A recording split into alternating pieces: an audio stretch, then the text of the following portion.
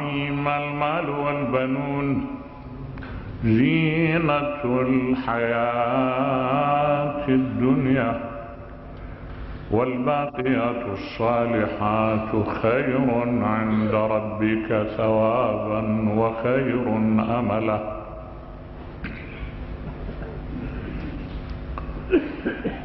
ترتبط هذه الآية الكريمة بالأسرة. ويتناول جانب من الجوانب ذات العلاقة بالأسرة. يعني قطعا إحنا عندنا الفرد أول ما ينشأ يبدأ يتعامل مع الأسرة. الأسرة تمثل المجتمع الأسرة هي عبارة عن الأم والأب. وإذا بعد ذلك صاروا له أخوة أيضا يتفاعل معهم يربى ينشأ معهم. في موضوع الأسرة موضوع جدا مهم. هاي الآية أكو بها ثلاث آراء ستكون إن شاء الله موضع حديثنا. الرأي الأول يتعلق بقضية نعيشها. كأنه فرق تقسيمات عند الفقهاء أو بالأحرى عند المفكرين. يقولون أن الفقه قسمين. قسم من الفقه نعيشة فقه حي. وقسم من الفقه يقول فقه صحيح هو يعني قد يجي إلى موجب يجي إلى موضوع. لكن على الأكثر يعتبر فقه فعلا مو حي. شلون يعني مثل إيش؟ يعني مثلا افرض البير الآن في مناطقنا لما نرجع إلى الأحكام الشرعية أن البير إذا وقعت فيها مثلا نجاسة شمدل ينزحون من عندها يلا تنظف مثلا هذا ما أصبح موضوع مر... إلى إلى وجود يعني ما الحمد لله ما هي هواية ونعمة من الله ولا كبير ولا وهالمشكلة مثلا ما موجودة. نبه لي. أكو من هالنوع قضايا ذني يعني نادر إلهن موضوع. نقدر نسميه فقه جانبي لكن أكو فقه حي. نعيشه يومية. مثل إيش؟ مثل هاي المسألة إن شاء الله تمر علينا. المال والبنون زينة الحياة الدنيا والباقيات الصالحات. كأن إحنا شنو طريقتنا الآن بالتعامل مع الأولاد. الآية تقول أن الناس بالنسبة للأولاد الذكور يعدوهم زينة والأموال يعدوها زينة لكن بالنسبة للبنات لا ما يعدوها زينة. البنت ما يعتبروها زينة. إذا جاء ولد اعتبر الولد زينة الحياة الدنيا يفخر به يعتز به لكنه في موضوع البنت لا يفخر ولا يعتز وربما يتكدر وربما يرتب آثار كثيرة وربما يخلق له مشكلة بالأسرة من أجل هذا. زين؟ هذه الآية تقول المال والبنون زينة الحياة. الدنيا والباقيات الصالحات خير عند ربك ثوابا. شلون الساعة تشرح لك الروايات الجاية تشرح لك هذا المعنى. الروايات الجاية شنو؟ أئمة أهل البيت سلام الله عليهم. يقولون أن البنين الذكور نعمة والنعمة يسأل عنها الإنسان نعيم والنعيم يسأل عنه. والآية تقول ولا تسألن يومئذ عن النعيم. النعيم يسأل عنه.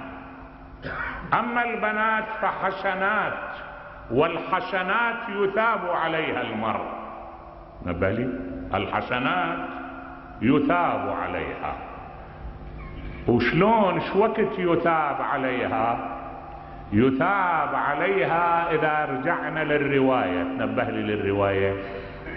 الرواية تقول من كانت عنده بنت فأدبها وأحسن تأديبها وعلمها فأحسن تعليمها وأشبغ عليها من النعم التي أشبغها الله عليه كانت له سترا من النار. نبه لي شوي.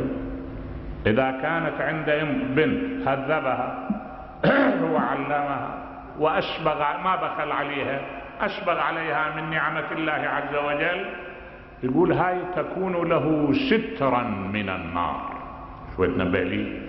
بس خلي نرجع إلى الرواية إلى صدر الحديث النبوي. هذا حديث نبوي؟ أدبها فأحسن تأديبها وعلمها فأحسن تعليمها. كأنه عندنا تعليم بدون تأديب. وكعدنا لا تعليم مع أدب. التعليم بدون تأديب شنو؟ درسها وحصلت شهادة. لكن مثلا ما قعد يشرف أن هذه البنت إحنا مسلمين وإحنا في محيط مثلا إسلامي. محيط شرقي إسلامي وزائدا عربي أحيانا فاش تجتمع العقيدة؟ والتقاليد والمزاج الشرقي. ومع ذلك هذا مثلا ما كلف نفسه يوم من الأيام. يقولها للبنت بابا أنت مثل راح تتعلمين. وهذا التعليم راح أيضا تأخذين ثمرته والثمرة مالته قد تكون وظيفة مثلا. ما أشرف على ملابسها. ملابسها محتشمة. يولا ما أشرف على سلوكها سلوك متزن أم لا؟ ما أشرف على اخلاقها أخلاق طيبة طاهرة أم لا؟ منفلتة ها؟ لا لازم مو مسألة علم بس. العلم بدون آداب مثل سكينة تعطيها للطفل أبو سنة يمكن يجرح بها نفسه يمكن يمزق بها أمعاءه. زين؟ العلم إذا ما اجتمع معه الخلق ما بفائدة صار مو علم صار كارثة.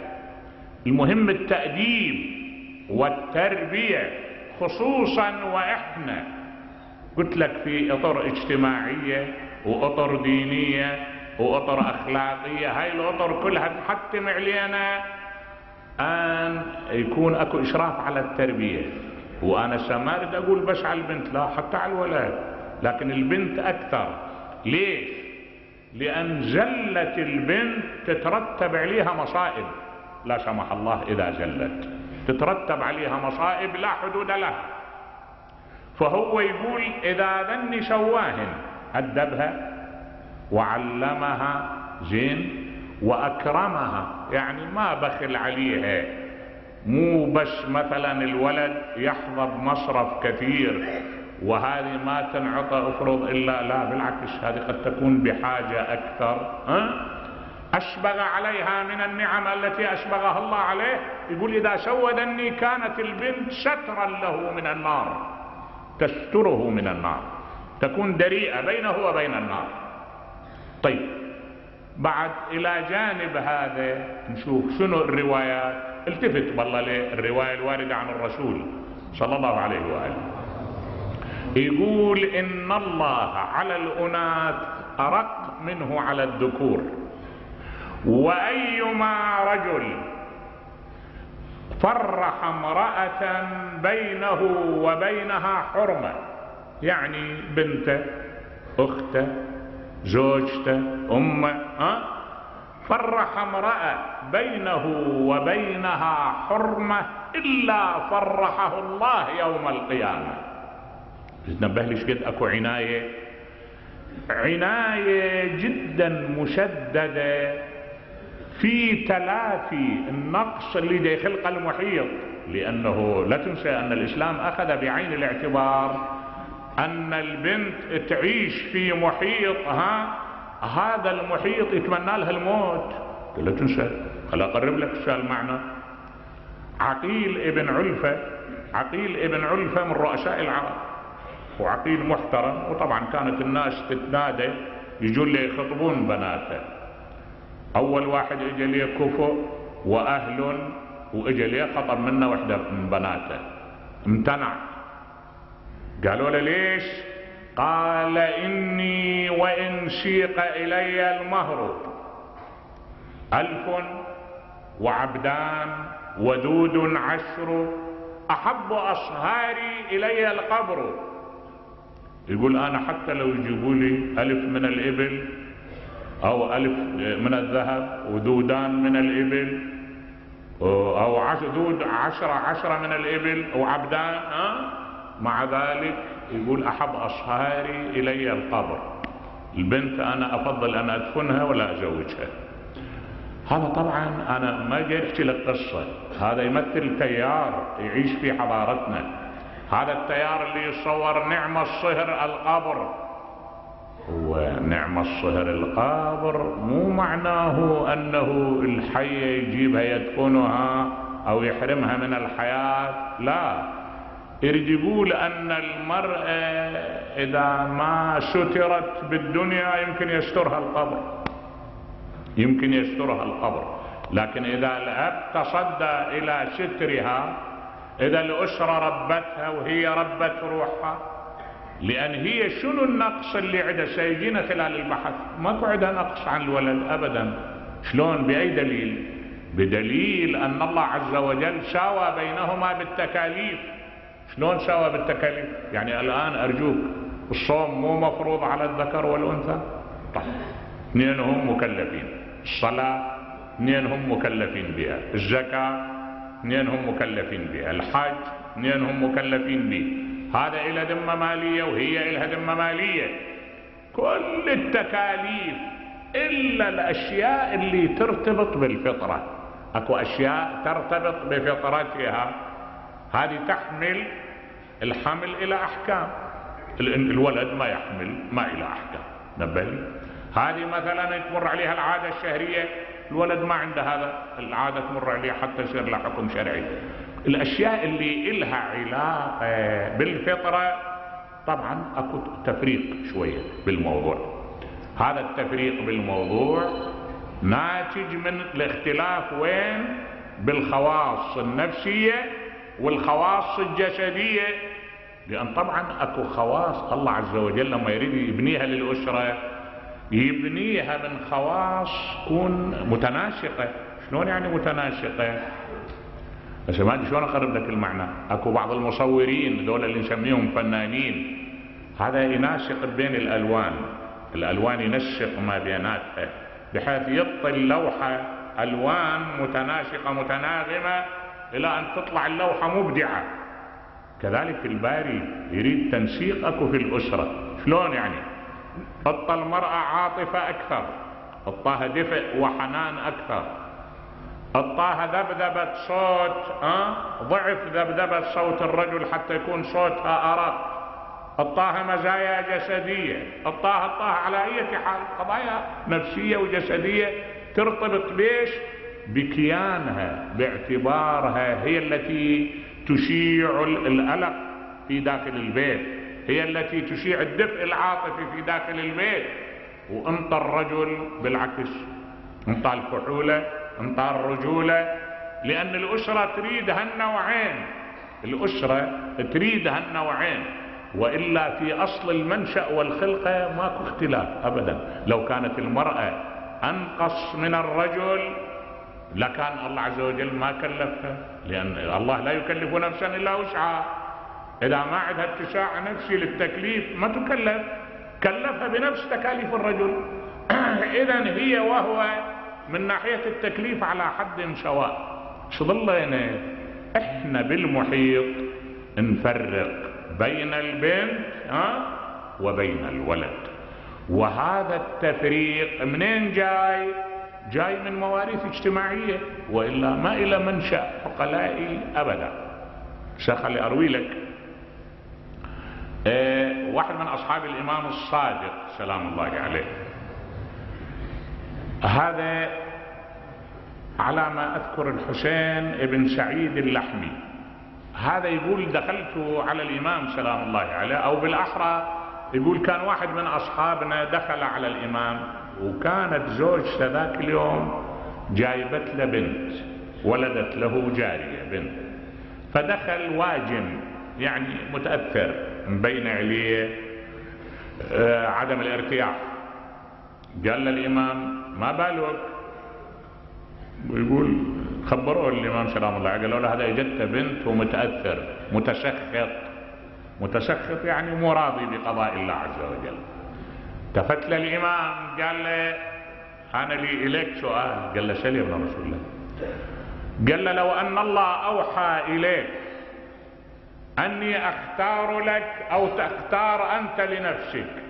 شو تجاوب؟ لو الله يوحي لك أني أنا يو أنا أختار لك يو أنت تختار لنفسك. إيش راح تجاوب؟ قال له أختار ما اختاره الله عز وجل. قال له إن الله قد اختار لك. هذا الاختيار. ما جت عفوا اختيار من الله. الله عز وجل آه هو اللي كتب لك أن تأتيك جارية. أنت تسخط قضاء الله؟ قال له معاذ الله. قال للإمام بعد ألفت نظرك لشيء. قال ما هو؟ قال له أنت مر عليك قضية العالم اللي كان مع موسى ورأى غلاما فقتله. قال قتلت نفسا بغير حق. مو إلى أن تقول الآية فأردنا أن يبدلهما ربهما خيرا ها؟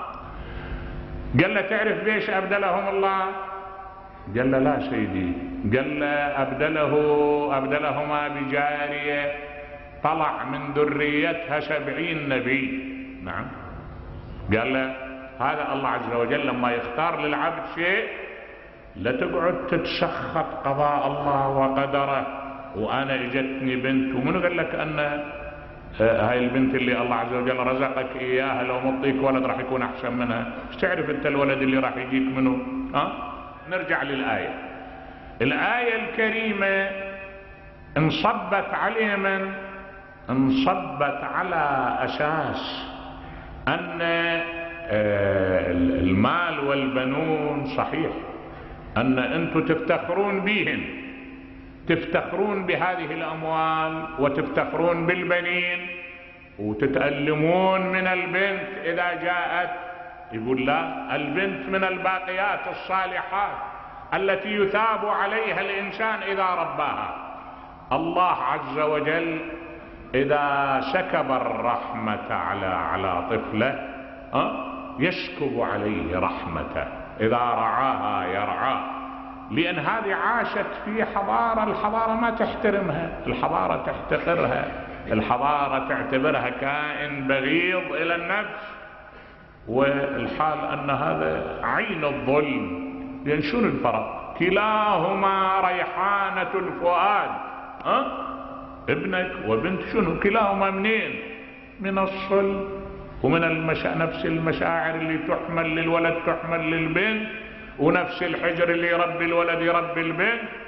وتبقى البنت في محيط كمحيطنا بحاجة إلى الرحمة والرأفة والرعاية أكثر. ولذلك أنا ألفت نظرك لنقطة. ترى أحيانا قد تلقى بعض البنات مسترجلات. هاي ترى عملية ردة فعل شوية نبه شلون هاي ضد المحيط ردة فعل هاي تشوف يقول ليش هذا المحيط يركز على على احترام الذكر دون الأنثى؟ ليش؟ إحنا شبينا؟ شنو نقصنا؟ فهاي تلقاها تنفلت. تلبس لباس مثل الرجل. في نفس الوقت تقمش تقميج الولد ها؟ لا. هي هذا كله عمليات هاي خلقها المجتمع. إحنا غالبا نصنع الجريمة ونعاقب عليها. هاي كلها وليد. شنو؟ وليد ممارسة المجتمع لاحتقار الأنثى واحترام الذكر. مع العلم إحنا لو نرجع إلى الإحصائيات أو بتعبير آخر لو نرجع للنماذج اللي يذكرها إن التاريخ واللي تعيش ويانا اللي تعيش ويانا واللي يذكرها إن التاريخ. لو نرجع إلى هالنماذج ما نلقى فرق بالعكس أرجوك يعني أنت الآن آه، لما ترجع إلى أم عمارة ام عماره اللي وقفت إلى جانب النبي صلى الله عليه وآله واخترطت سيفها وجعلت تقاتل واولادها انصرعوا بالمعركة وزوجها انصرع بالمعركة وتشيل قتلاها. واللي يسألها شلون؟ تقول له؟ لا تسألني عني أنا اسألني قل لي عن رسول الله شنو؟ زين ومو زين ها؟ هاللون من من النفس الكبيرة من الرجولة. ذن الآسيات الآسيات اللي كان يطلعن بالحرب ويقومن بدور الطبيب اللي ينزل إلى ساحة المعركة ويتعرضا إلى النبال وإلى السهام وإلى السيوف المسلمات الأوائل تأمل أول من أعلن الإسلام خديجة وعلي بن أبي طالب. خديجة مو امرأة أول معذبة في سبيل الله ها؟ أم عمار بن ياسر سمية. وهكذا تلقى عندنا لوامع في تاريخنا. إذا شنو من المريخ؟ لو من عندنا؟ كل ما في الأمر أنه حصلت على البيئة والتوفيق اثنين هن اجتمعن لها وأطتها النتيجة. فما يفرق بينما تلقى ناس من الرجال هم في قلب الإسلام وكانوا أضر على الإسلام من أعدائه. هنا. المسألة مو, مو ما, ما لها علاقة بذكر وأنثى. فشوف الآية شو تريد؟ تقول المال والبنون زينة الحياة تمام أنتم ذني تفتخرون بهم تفتخرون بالولد. فعلا كانوا يفتخرون به بأن الخصوص إذا كثر عددهم يعتبرون هذا أبو الكمل. إذا صاروا عنده سبعة يسموه أبو الكمل. وبعد أكثر من هذا يعني يفاخرون به على رؤوس الأشهاد. طيب أعود للموضوع. هذا الرأي الأول. المال والبنون زينة الحياة في الدنيا؟ يعني يريد يقول أكو صنفين هذا المال وهذا البنون أنتم تفتخرون بها لكن ذني ما بيهن ثواب. لكن تربيتكم للبنت وتأديبها والعطف عليها هاي من الباقيات الصالحات التي هي خير عند ربك ثوابا. زين هذا الرأي الأول. الرأي الثاني لا مو هذا الهدف. أن معنى قوله تبارك وتعالى المال والبنون زينة الحياة الدنيا. بعض المفسرين يفهم من الآية يقول أن الإسلام إجا قسم آه، أن الإنسان ما ينبغي أن بس يسعى للآخرة. ويترك الدنيا. يعني الدنيا تريد عمل والآخرة تريد عمل. هذا عمر بن سيف الأزدي يقول دخلت على الإمام الصادق سلام الله عليه. قال لي الإمام الصادق يا هذا لا تترك الرزق من الحلال فإنه عون لك على دينك واعقل راحلتك وتوكل. شلون يعني؟ شنو معنى هذا؟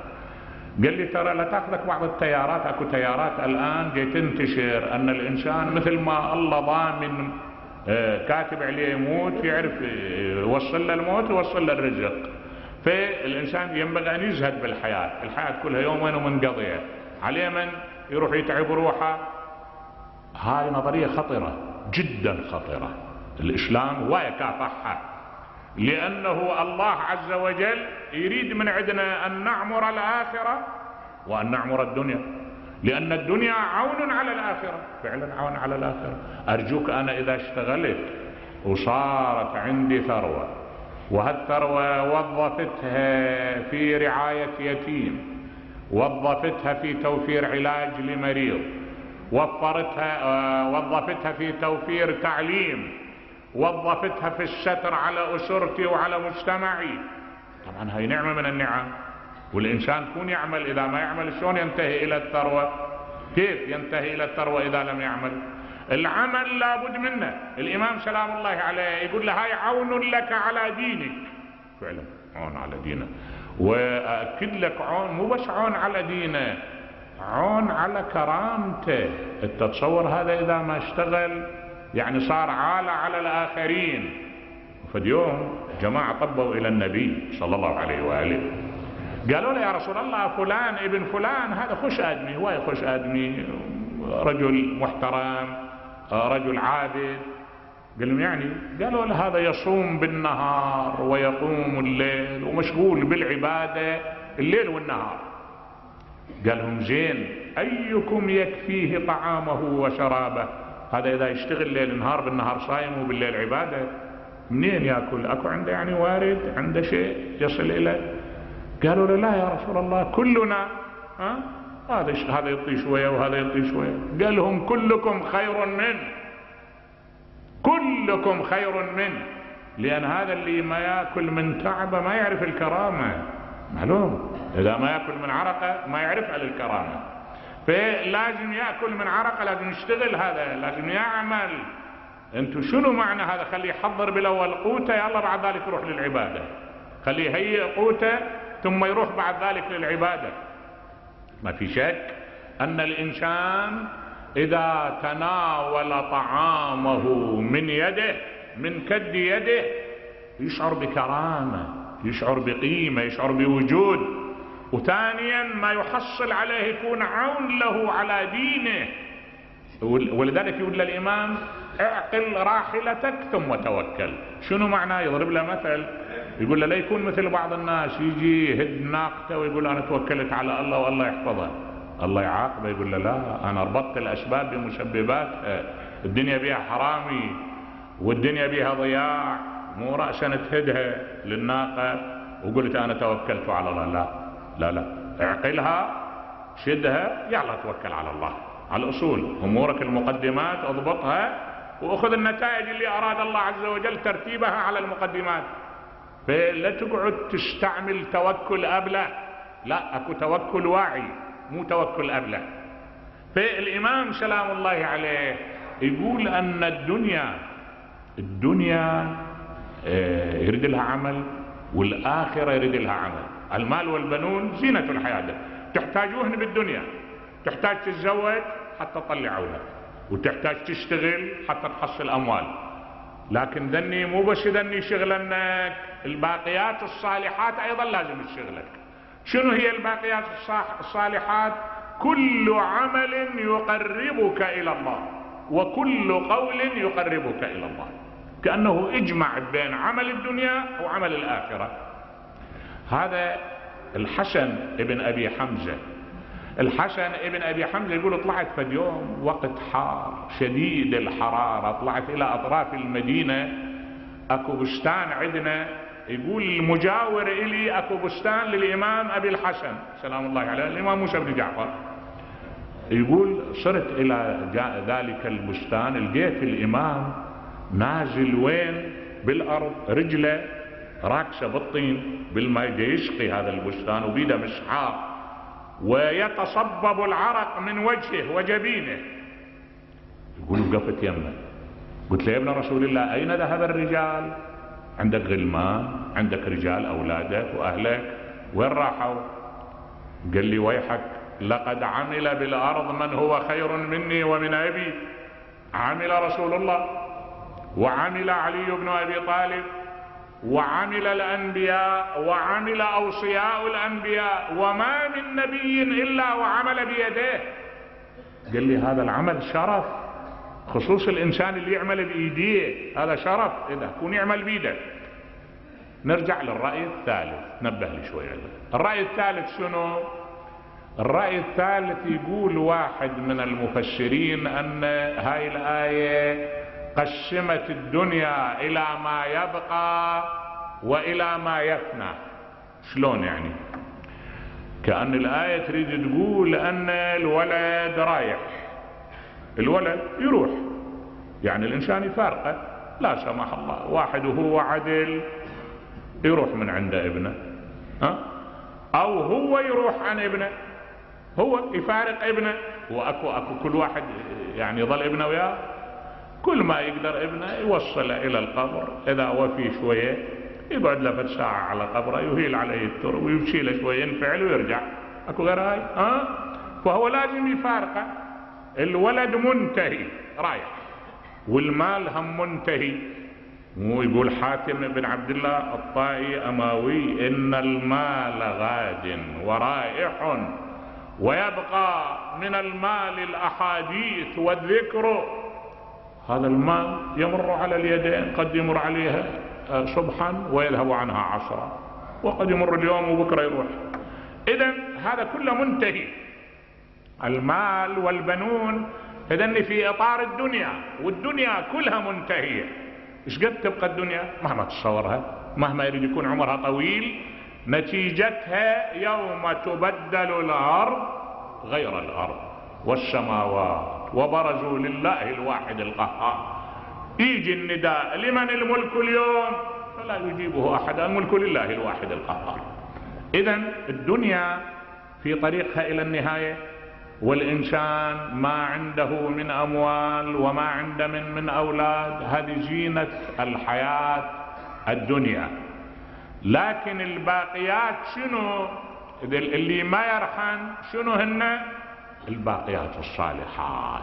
شو يقول التاريخ وبعض المفسرين يقول صهيب الرومي وسلمان المحمدي بعد وعمار ابن ياسر وخباب ابن هذول فقراء الصحابة فقراء الصحابة رضوان الله عليهم يقول هذول كانوا يقعدون بالمسجد يشوفون الدنيا عند بعض الناس مغدقة عليهم هم شو يسوون؟ يقول يقرؤون هالتسبيح هذا المعروف ها؟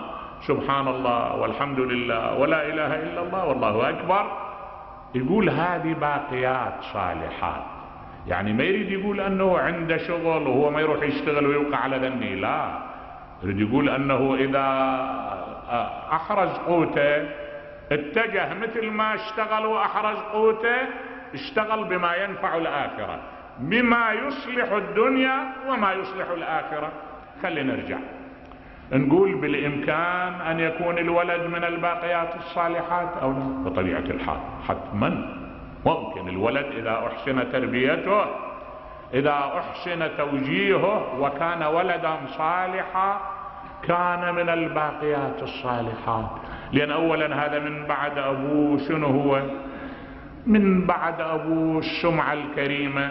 من بعد ابوه الدعاء من بعد ابوه العمل. أكو بعض الأبناء مفخرة ما في شك مفخرة. ويقول واحد من شعرائنا يقول قالوا أبو الصقر من شيبان. قلت لهم كلا لعمري ولكن منه شيبان. فكم أب قد علا بابن ذرى شرف كما علا برسول الله عدنان. يتأمل لا شك أن النبي صلى الله عليه وآله مفخرة لعدنان. فإذا الولد قد يكون هو العمل الصالح. شو وقت؟ إذا كان ولدا صالحا إذا رباه الأب فأحسن تربيته. لأن الولد ريحانة. وما في شك أن الأب يحرص. ما, ما أتصور أكو أبو ما يحرص على أن يكون ابن نموذج مشرف. لكن واحد تتسع له وسائل التربية. واحد لا والله عنده شوية إهمال. واحد ما يقدر هالحالة. وإلا كل أبو ينزع. كل أبو ينزع إلى أن يكون ابن نموذج مثالي. ولذلك أنت تلقى شوف إذا الأبو يمكن أن يحسد حتى أخوه. لكن ابنه ما يحسده مهما يترقى ابنه ما يحسده بالعكس يحبه من أعماقه. لا يحسد ولده. ليش؟ لأن الولد جزء منه كيانه. كيان الولد يعني أنا عندما أشوف ابني أشوف امتدادي الطبيعي. إذا أشوف ولدي الولد امتدادي روحي. إذا أنا ابني إذا ترقى أنا ترقيت. فالولد إذا هو من الباقيات الصالحات وخصوص إذا جمع المزايا جد إحنا الليلة أمام حادثة من هذا أو أمام شيء من هذا النوع. الحسين سلام الله عليه منو عنده أكبر أولاده؟ حسين عنده أكبر أولاده على كثير من الروايات علي الأكبر. على كثير من الروايات ها؟ تقول أن في حدود ال 25 سنة ورواية تقول لا 19 سنة. على العموم علي الأكبر الحسين سلام الله عليه تزوج أمه وأم من البيوتات اللي جمعت مزايا الكرامة والسمو والشمائل اللي ينشدها الأب عادة بالبيت الكريم لأن أم ليلى بنت أبي مرة ابن عروة ابن مسعود الثقفي. عروة أحد سادات الإسلام الأربعة. ذول أربعة سادات الإسلام يعتبرون وسادات للعرب أيضا كانوا. من سادات الإسلام ومن سادات العرب. ومن جملتهم هذا عروة اللي يعبر عنه النبي يقول إن مثل عروة عند الله كمثل صاحب ياسين دعا قومه إلى الله فقتلوه. عروة هو أحد العظيمين. أم منه؟ أم ليلى هذه بنت أبي مر. منو أمها؟ ميمونة بنت أبو سفيان أمها. ولذلك علي الأكبر عندما نزل للمعركة نزل للساحة واحد تقدم له من الجيش قال له إحنا ما نقاتلك أنت ابن اخت الخليفة. إحنا نرعى حرمتك وقربك. قال لعلي الأكبر حرمة رسول الله أحرى بأن ترعى. أنا ابن رسول الله أنا ابن الحسين. ما يعنيني أن أمي تتصل بهؤلاء. نعم. علي الأكبر كان يتمتع بمزايا الواقع بعضها من منح السماء وبعضها من تربية البيت الكريم. لأن وين ترعرع هو؟ ترعرع في البيت اللي هو مهد للنبوة. شطى الحسين من الصفات؟ الحسين اطاه الصفة الشهادة اللهم اشهد على هؤلاء القوم. فقد برز إليهم غلام. أشبه الناس بنبيك خلقا وخلقا ومنطقا. لاحظ؟ ها؟ خلق الصورة المشرقة اللي كانت لأسارير الرسول اللي يعبر عنها حسان خلقت مبرأ من كل عيب كأنك قد خلقت كما تشاء. هاي الصورة الجسدية بعد خلقا وخلقا. أخلاق الرسول الكريم عن طريق الوراثة وعن طريق التربية انتقلت إلى هذا الصبي خلقا وخلقا ومنطقا. كان إذا تكلم أعرب عن صوت رسول الله أعرب عن حديث رسول الله. لهذا كل المؤرخين يقولون كانوا أهل البيت إذا اشتاقوا إلى رؤية النبي يجون وين يتحلقون؟ داير مداير علي الأكبر. يرون فيه الشمائل يرون فيه السمات كانوا يدنون إليه يأنسون بالدنو إليه. ولهذا مصرع علي الأكبر أخذ أثرا من الحسين لم يأخذه مصرع آخر قط. وهذا أعتقد كل المؤرخين يشيرون إليه. مر عليك أنت؟ ترى الحسين ما وصل عندنا خبر بأن بالمعركة وقع وقع على واحد من الشهداء. لا لا. كان ينزل يجي رابط الجاش قوي الشكيمة ها بمنتهى العزيمة ينزل يما يأبنا يقعد يما قد تدمع عينه لكن يوصل الأمر شو التفت للتعبير؟ يقولون دول مؤرخ الطف يقولون علي الأكبر لما طاح. وصاح عليك مني السلام أبا عبد الله. يقولون أقبل الحسين ملء عنان الفرس كان. لما صار إلى جانب علي الأكبر سقطت رجلاه من الركاب. وسقط زمام فرسه من يده. بعد ما يقدر يمسك زمام الفرس وهو طاح على ابنه وقع عليه. احتضن قال بني علي قتل الله قوما قتلوك. ما أجرأهم على الرحمن وعلى انتهاك حرمة آه، جدك رسول الله. ثم احتضنه. قال بني علي على الدنيا على الدنيا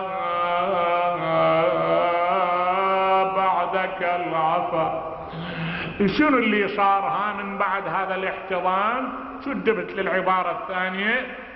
يقول واحد من المؤرخين يقول وضع يده تحت عنق علي الأكبر وامتد إلى جانبه بالمعركة. تمدد وياه بالساحة واحتواه بساعده إلى صدره. جاورت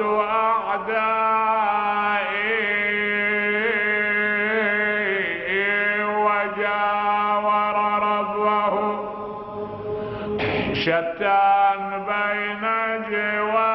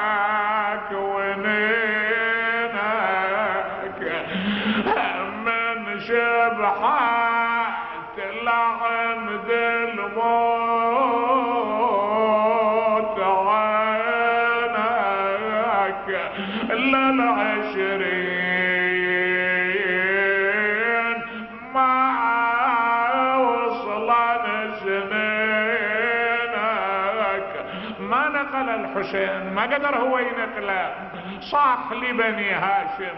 قال احملوا أخاكم والله